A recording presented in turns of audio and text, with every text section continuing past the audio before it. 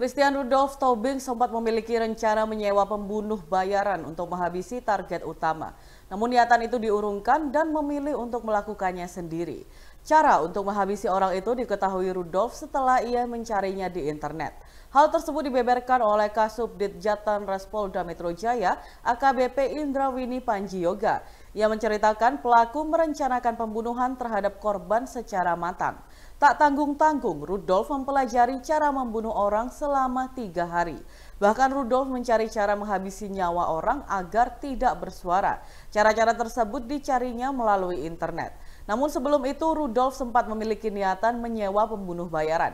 Hal tersebut disampaikan oleh Direktur Reserse Kriminal Umum Polda Metro Jaya, Kombes Pol Hengki Haryadi. Ia mengatakan tersangka mencari pembunuh bayaran itu juga melalui internet. Rudolf pun mencari informasi terkait tarif jasa pembunuh bayaran. Namun niatan itu diurungkan lantaran tarif yang terlalu mahal.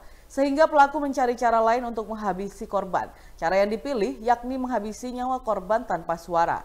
Sejumlah fakta ini diketahui dari riwayat pencarian yang masih tercantum di ponsel Rudolf.